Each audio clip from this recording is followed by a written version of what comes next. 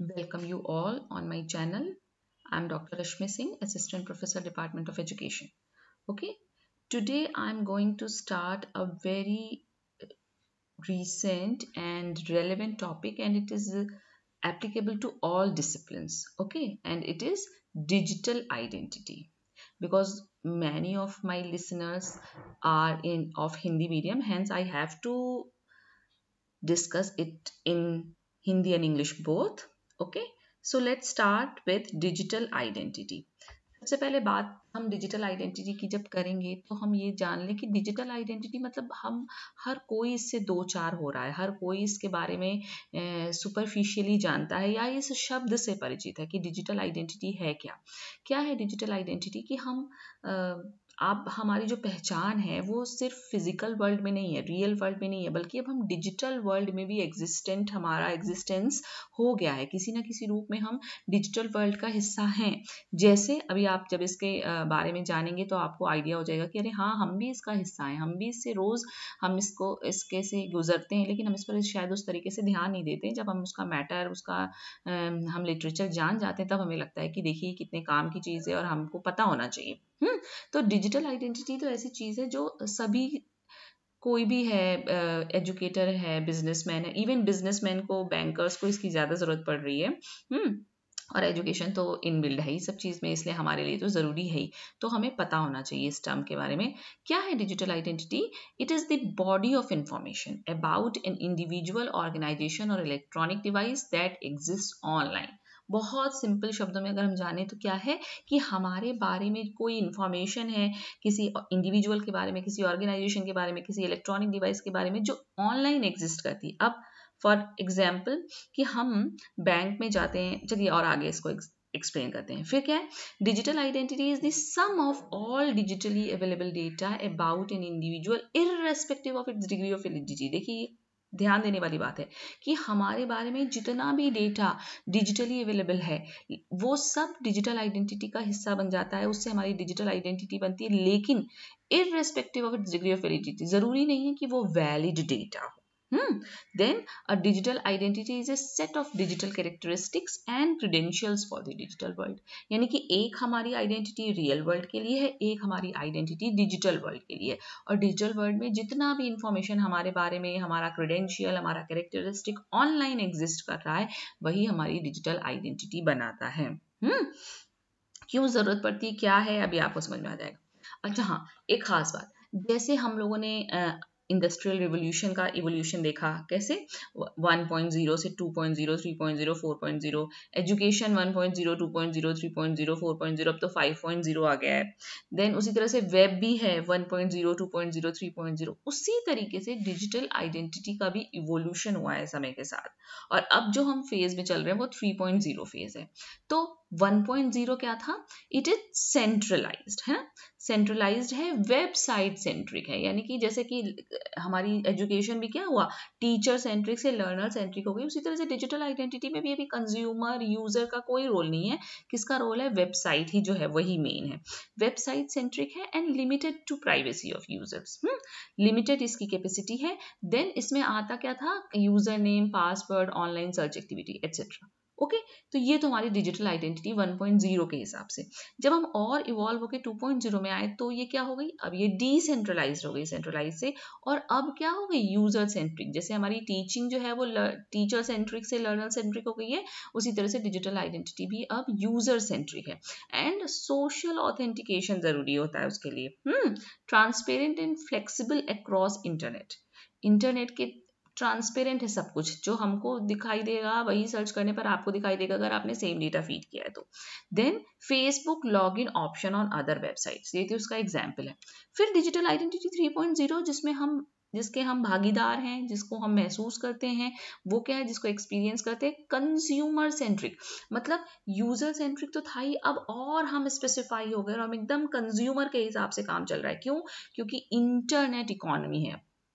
Knowledge economy था, अब internet economy की बात हो रही है। सब कुछ इंटरनेट पे, सारा ट्रांजैक्शन सारा पेमेंट अब देखते हैं, हम लोग ध्यान नहीं देते, हम पता नहीं हमको ये इस बारे में इतना मतलब बस ऐसे ही सुपरफिशियली कर देते हैं, हम मोबाइल से पेमेंट कर दे रहे हैं। कैसे कर दे रहे हैं payment because everything is consumer centric in this world now और क्या है? Utilise strong authentication like biometrics अब वो आपकी फिंगर के हिसाब से चल रहा है, आपका फेशियल एक्सप्रेशन ले रहा है, आपका फेशियल रिकॉग्निशन है फिंगर टच के हिसाब से है तो ये तो एकदम स्पेसिफिक है कंज्यूमर के हिसाब से, है ना? कोई और नहीं खोल सकता आपका मोबाइल अगर आपने उसमें ऐसी सेटिंग लगा दी then and ensure anonymity anonymity को हमको इंश्योर करना पड़ेगा, और ये नेक्स्ट जनरेशन डिजिटल आइडेंटिटी मतलब एट पार है and example payment provider suggest PayPal Google Pay and all सभी लोग जानते हैं, सभी लोग उसको करते हैं, लेकिन हम उसको, उसके थेरी में इतना, उसके एप्लीकेशन पार्ट को बस महसूस करते हैं, और कभी कभी रोमांचित भी होते हैं कि कितना आसान हो गया है सारा कुछ डिजिटल वर्ल्ड में, लेकिन इसके पीछे क्या चल रहा है? डिजिटल आइडेंटिटी हमारी 1.0 से निकलकर 3.0 में आ गई है। हम्म? देन अच्छा कुछ कंसेप्ट हमको पता होने चाहिए डिजिटल आइडेंटिटी के बारे में। अगर हम डिजिटल आइडेंटिटी पढ़ पढ़ा रहे हैं तो कौन कौन से कंसेप्ट हैं वो? पहला तो आइडेंटिफायर एट्रीब्यूट आइडेंटिफिकेशन ऑथेंटिकेशन और ऑथराइजेशन ये पाँच जो हैं, वो बेसिक कंसेप्ट हैं जो कि डिजिटल आइडेंटिटी से रिलेटेड है और हमको पता होनी चाहिए। आइडेंटिफायर क्या है? नाम से स्पष्ट है कि हमको आइडेंटिफाई करने में हेल्प करेगा। क्या? सेट ऑफ़ एट्रीब्यूट्स हमारे कुछ गुणों का समूह है जो कि अलाउ करता है। क्या अलाउ करता है? An application domain to link the declared identity previously known to the system यानी कि सिस्टम में आपका डेटा फ़ीड है, हमने कोई आइडेंटिफायर दिया आपको और आप उससे मैच करा लेंगे।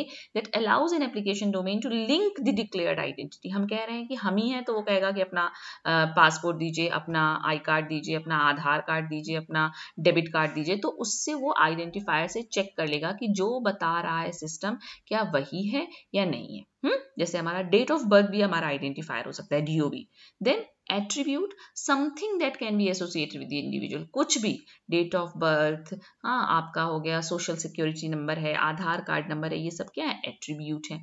देन आइडेंटिफिकेशन आइडेंटिफिकेशन मतलब कैसे साम्यता स्थापित की जाएगी कि आप वही हैं जो जिनके, आप ही का बैंक अकाउंट है है ना? हम डेटा आपको कैसे मनी ट्रांसफ़र कर दें then identification is the process by which individuals claim their identity हम कहते हैं, नहीं नहीं, हम ही है भाई, आप हमारा ये चेक कर लीजिए।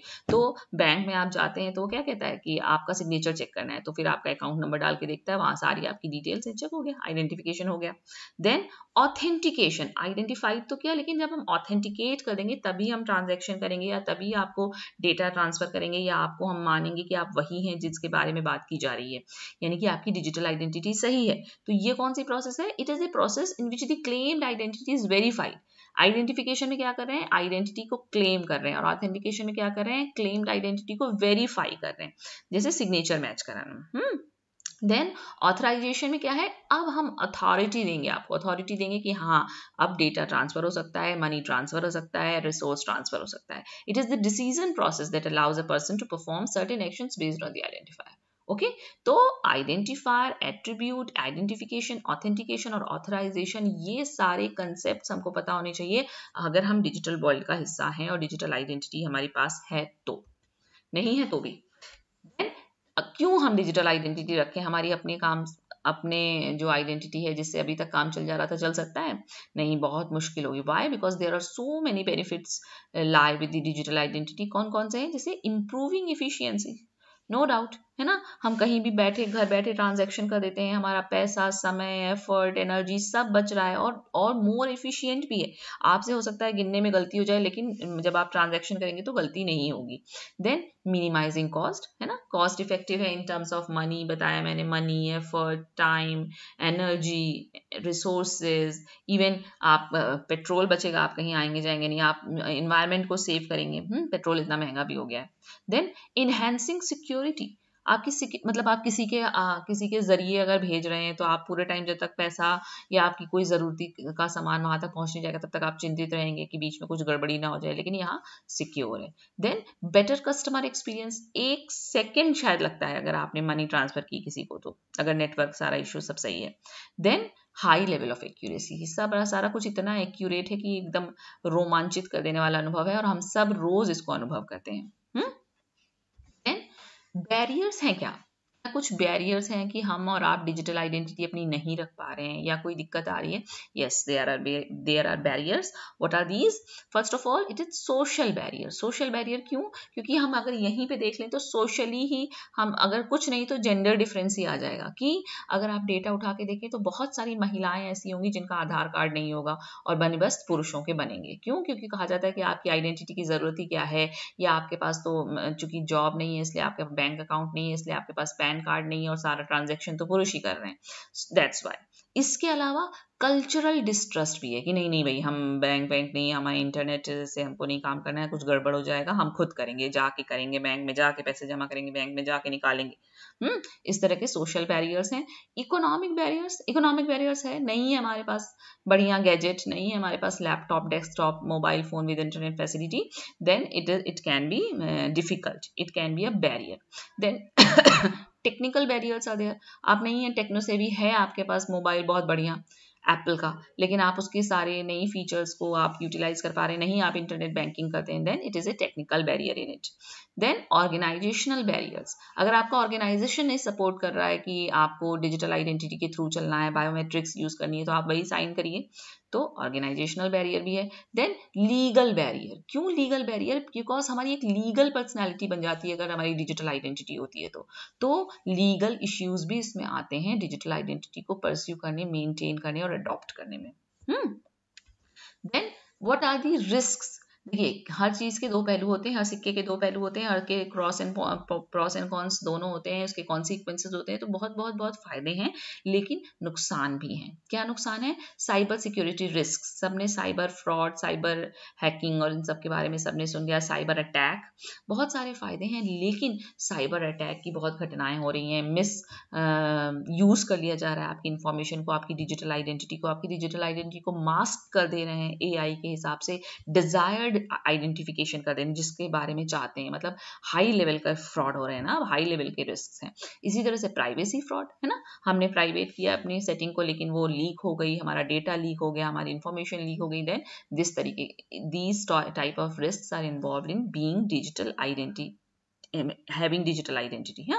देन फाइनेंशियल क्राइम रिस्क सबसे ज़्यादा रिस्क तो फाइनेंशियल क्राइम में ही है। क्यों? क्योंकि आ, सारा कुछ मनी मनी का खेल है ना तो हम किसी और के आप बैंक अकाउंट में आ, हमको एंटर कर जाएँगे और उसका पासवर्ड हैक कर लेंगे और इस तरीके के काम कर लेंगे और उसमें से पैसा निकाल लेंगे। बहुत घटनाएँ हो रही हैं इस तरीके की। देन ऑथेंटिकेशन रिस्क है। अगर हमने आइडेंटिफायर ही गलत बताया एट्रीब्यूट ही गलत है सारा डेटा जब पहली बार फ़ीड हुआ तभी गलत फ़ीड हुआ है तो ऑथेंटिकेट आप उसको जब जब करेंगे तब वो कुछ नहीं कर सकता आपका आपकी हेल्प? और unknown risk are also there मतलब बहुत कुछ ऐसा भी है जो अभी पता नहीं चला और आगे भविष्य में पता चलेगा कि अरे, ये भी नुकसान है इससे। तो इस तरीके की दिक्कतें हैं डिजिटल आइडेंटिटी के साथ। Okay then what are the measures to be safer क्या किया जाए? नहीं करेंगे तो भी काम नहीं चलेगा। हमको होना है डिजिटल वर्ल्ड में अपनी आइडेंटिटी रखनी ही रखनी है। उसके बिना हम पिछड़ जाएँगे लैक बिहाइंड हो जाएँगे, इसलिए हम, और इतने रिस्क भी हैं। तो हमको कुछ मेजर्स अपनाने चाहिए जिससे हम सेफ़ डिजिटल आइडेंटिटी अपनी रख सकें। बहुत सारे हैं, लेकिन मैंने कुछ ही नोट किए हैं यहाँ पे आपके लिए। यूज़ पासवर्ड मैनेजर है ना? हम क्या रखते हैं password one two three four five कोई भी उसको क्रैक कर लेगा। कई लोग मैक्सिमम लोग पासवर्ड के रखते हैं, password. P A double S W R D इससे ज़्यादा दिमाग लगाने की ज़रूरत नहीं है। लेकिन अगर आप पासवर्ड मैनेजर यूज़ करते हैं तो वो ऐसा फिगर होता है जिसको ना कोई याद रख सकता है, ना कोई क्रैक कर सकता है और आपके उसके सिस्टम में सेव भी रहेगा। तो please use password manager for these setup multiple identities क्यों एक ही आईडी हम हर जगह यूज़ करें ना? अगर मान लीजिए गड़बड़ी हो तो सारे अकाउंट चले जाएँगे, सारा सब कुछ चला जाएगा। इसलिए setup multiple identities then enable two factor authentication अगर आपको गूगल अपना ऑन करना है तो इसका मतलब आपका कुछ उसका नोटिफिकेशन ओटीपी आपके मोबाइल पर भी आएगी तो टू फैक्टर ऑथेंटिकेशन हो जाएगा तो बढ़िया हो जाएगा मतलब कि बिना उसके नहीं खुल सकता है। देन अवॉइड पब्लिक वाईफाई हम लोगों को वाईफाई कहीं भी मिल जाता है तो हम बड़े खुश हो जाते हैं ना। लेकिन अब तो खैर बहुत सस्ता हो गया है ये सब वाईफाई के पैकेजेस शुरुआत में ज़्यादा इसका लोभ था कि पब्लिक वाईफाई मिल जाए तो कुछ कुछ फ़िल्म डाउनलोड कर लें, कुछ डाउनलोड कर लें, बड़ी फाइल्स डाउनलोड कर लें but it can be dangerous it can be risky so have, we have to avoid public wifi. वो खुद ही बोलता है, अगर आप कोई ट्रांजेक्शन कर कि पहले सिक्योर कीजिए अपना वाईफाई कनेक्शन है ना? तो बहुत सारी चीज़ें तो AI ने हमको खुद ही बता दी हैं। Then be careful in filling personal data online कोई भी फॉर्म में, किसी भी फीडबैक फॉर्म में, किसी को भी हमको अपने पर्सनल डेटा को नहीं देना है। जब आप एकदम श्योर हो जाएँ श्योर हो जाएँ कि नहीं आप वो इन्फॉर्मेशन सही जगह जा रही है, सही जगह उसका यूज़ होना है, तभी आपको अपनी पर्सनल डेटा को फिल करना चाहिए ऑनलाइन बिकॉज़ एक बार ऑनलाइन चला गया तो वो सब कुछ पब्लिक हो गया। हम्म? तो इस तरह की बहुत सारी बातें हैं, जो कि हमको बताती हैं कि डिजिटल आइडेंटिटी को कैसे सेफ़ रख सकते हैं। तो डिजिटल आइडेंटिटी है हमारी आपकी। क्यों? क्योंकि हम सबके पास आधार कार्ड है ना। क्या करता है वो? सिर्फ़ आधार कार्ड से बैंक को अकाउंट नंबर भी कनेक्ट हो गया है, सब कुछ कनेक्ट हो गया है। उसमें आपका फिंगर प्रिंट भी है हम्म, तो बहुत आप जैसे आधार नंबर बताते हैं सारी आपकी इन्फॉर्मेशन पता चल जाती है आप कहाँ के निवासी हैं क्या है आपकी डेट ऑफ़ बर्थ हाँ एक बात यह है कि डेट ऑफ़ बर्थ को ऑथेंटिकेट करने के लिए आधार कार्ड नहीं बनाया गया था लेकिन अब तो आधार कार्ड से डी भी मैच हो जा रहा है कि ये देखिए हमारी इतनी डेट ऑफ़ बर्थ है वो तो इसलिए है ना कि आपने बताई थी जब आधार कार्ड बनते समय की डेट ऑफ़ बर्थ क्या है उसका कोई ऑथेंटिकेशन नहीं okay okay? So it is a new topic and something new i have come to know. So i want to share this new information with all my viewers and learners. So be safe have a digital identity and avoid all type of risks and be smart smarter okay? So thank you all and it is done from my side